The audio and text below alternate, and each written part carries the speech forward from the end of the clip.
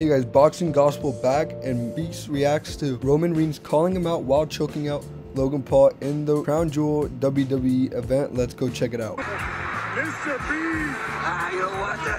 That's cool, That's when KSI tagged Mr. Beast and Mr. Beast had this. Yeah, that's basically it. But if you guys want to stay updated with the news, please like and subscribe. Thank you so much and enjoy the rest of your day. Peace out.